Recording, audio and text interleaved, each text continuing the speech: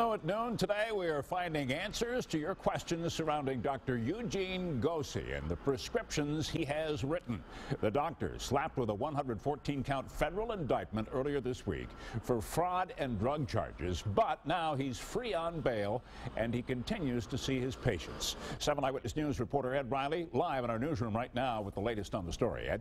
Well, Keith, one of the big questions that came out of the Dr. Gosy indictment was whether prescriptions he wrote are still valid. So we contacted the Drug Enforcement Administration in Washington to find out.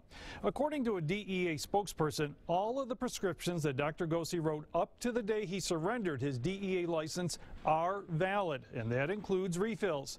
Now, the doctor was arraigned on a federal indictment this past Wednesday, and one of the conditions of his bail was that he had to surrender his DEA license. But what about other people in the doctor's office? Can they still write prescriptions for regulated medicine? The DEA says they can, only if they have their own DEA license. Now, pharmacists are strongly warning patients to not stop taking their pain medication without checking with their primary care doctors first because the withdrawal symptoms can be very severe.